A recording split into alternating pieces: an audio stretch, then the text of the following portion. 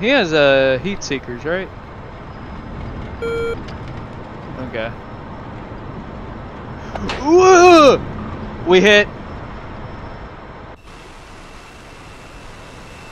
Hey, we killed him. Fuck it. Let's go home.